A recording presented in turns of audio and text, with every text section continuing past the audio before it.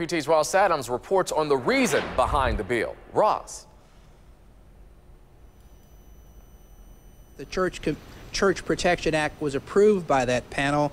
Now, one senator asked if you can carry guns in church, why not let teachers carry firearms in the classroom? Earlier today, before the Senate panel vote, a group of moms came to the Capitol to lobby against the bill. They want it killed. They believe it goes too far because it would let almost anyone carry a gun without a permit.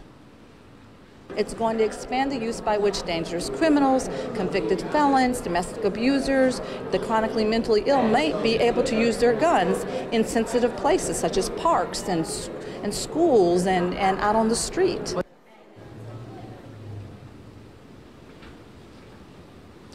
The author of the bill says he wrote the legislation after a young white supremacist shot and killed nine African Americans inside a Charleston, South Carolina church eight months ago. Opponents of this legislation say it's offensive that someone would try to use that tragedy to pass a new gun law.